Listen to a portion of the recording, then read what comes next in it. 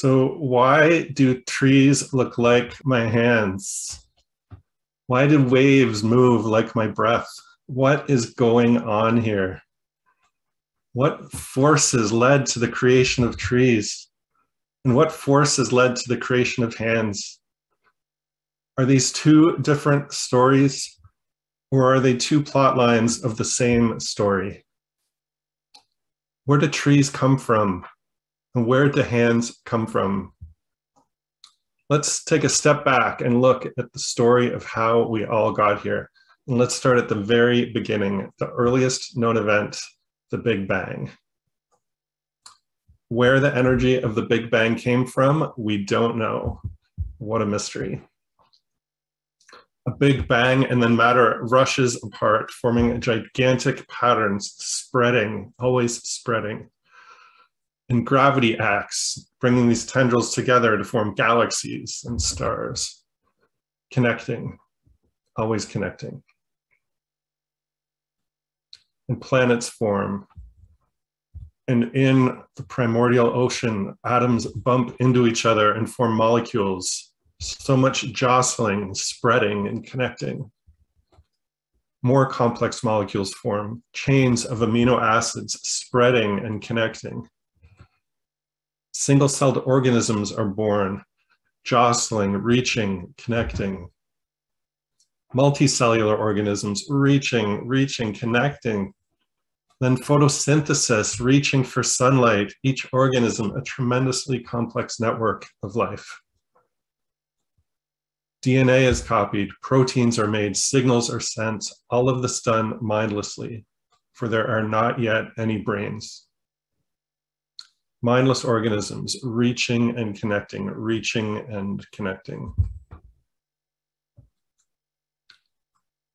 The first nervous systems evolve in jellyfish to allow both movement and sensing the world. Neurons growing and connecting, growing and connecting. This proves handy. Neural networks uh, make limbs move, open the mouth, bring in food, sense predators. Systems grow by chance and survive if they help the creature to survive. And then concentrated neural networks, brains, develop. To look at a brain up close is to see an incredible network of neurons interwoven and interspersed, created through chance mutations and reinforcement of success. So why do the neural networks in our brains look like trees and look like hands? It's because they all evolved to reach and connect, to reach and connect. We do not think using logic gates and rational processes. We think using what evolution gave us. There's a professor of neurology and named and anthropology named Melvin Konner, who wrote a book called The Tangled Wing Biological Constraints on the Human Spirit. Konner says that humans think in ways that help us to survive. We use motivated reasoning, not pure reasoning. And yes, surviving isn't the only thing. We are also motivated to be close in close relationship with others and this also provides plenty of room for motivated reasoning. If our crops fail, should we blame ourselves, blame nature, or should we blame the settlement one valley over? Aha, let's blame the settlement one valley over. And let's make things right by taking their crops for ourselves. That is motivated reasoning. And it can help you to survive. Sometimes you forgive your friend for something when you wouldn't forgive your enemy. That's motivated reasoning. Melvin Konner says that this behavior is wired in. Perhaps you've seen a little kid who can justify taking the last cookie even though they've had their share. That is motivated reasoning. Evolutionary psychologist William von Hippel wrote a book called The Social Leap.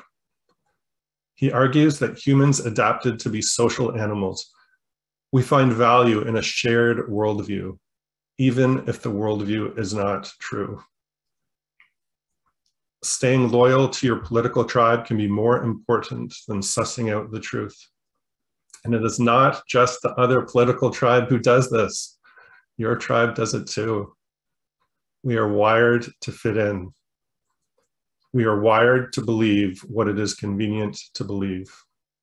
We are not wired to think rationally. So here is a short list of our cognitive biases. Agent detection, ambiguity effect, anchoring, anthropomorphism, attentional bias, attribute substitution, automation bias, availability heuristic, and I'm still only on the A's. And for the full list, you can look up cognitive biases, uh, a list of cognitive biases on Wikipedia. Humans have so many cognitive biases.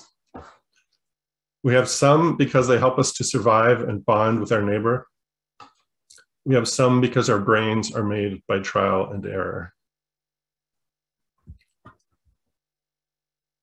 It can be so frustrating to see the mess people are making of their lives or see the mess people are making of the world due to irrational behavior. I just want to implore people, please do a better job of reasoning. wonder if you ever feel that way reading the news, seeing how people respond to COVID and such.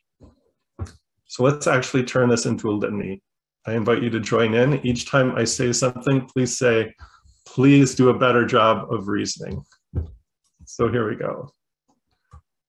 When a politician ignores the science, please do a better job of reasoning.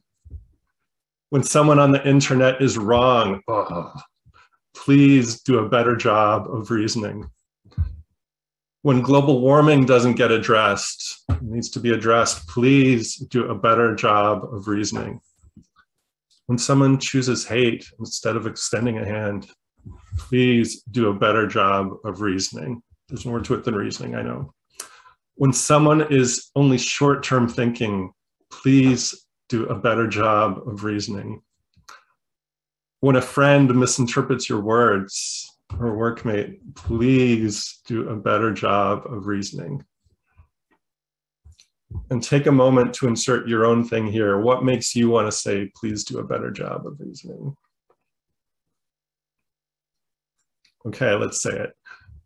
Please do a better job of reasoning. And one last one aimed at yourself because we are all wired irrationally. Please do a better job of reasoning. I think Therefore, I am probably making mistakes.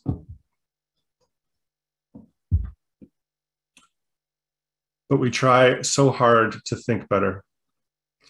Coming out of the Dark Ages, full of myth and provincialism, the Enlightenment was a time of stepping back to try to see the bigger picture. It was a time of taking things apart to see what made them tick, to see how simple systems interacted so that we could then understand more complex systems. The scientific outlook, outlook gave us great gains such as abundant food, an understanding of hygiene, and now mRNA vaccines. And thanks to science, we get to see a photo of Earth from outer space. But we took reason too far. Many examples of the modern era um, being unreasonable in its use of reason. So I'll pick one. Designers of cities said, let's take out everything that's complex, create a grid of streets, rectangular buildings, make everything large because large is more efficient. We created cities that were easy to understand, but that made no sense. Jane Jacobs came along and said, we need cities that don't make sense. We need cities that develop organically, the way that trees and hands and brains develop. Reasoning better means opening up to the complexities of the world, seeing things as they are, not seeing things the way you want them to be, and not seeing things the way your tribe says they are. Bell Hooks said that the heart of justice is truth telling, seeing ourselves and the world the way it is rather than the way we want it to be. She says, more than ever before, we as a society need to renew a commitment to truth telling. Truth telling is one of our commitments, but we have other commitments. We don't specialize only in reasoning better, but there is a group that does. The group formed around a website called Less Wrong. They say, we can't know if we are right, but we can try to be less wrong. Their goal is to do a better job of reasoning, to overcome their cognitive biases, so that they can see the world as it is, not as they want it to be. And the Less Wrong community spawned a broader informal network of people that is sometimes called the rationalist community. They don't love the name because they recognize that they're not rationalist. Um, someone named Julia Galef started the Center for Applied Rationality to help people to think better. She has a background in statistics, which is a sound background for disciplined reasoning, but beware, it is possible to lie with st statistics, even to yourself. Before starting the Center for Applied Rationality, Galef was a member of the New York City Skeptics, and perhaps there are skeptics here today. Galef wrote a book this year called The Scout Mindset, why some people see things clearly and others don't.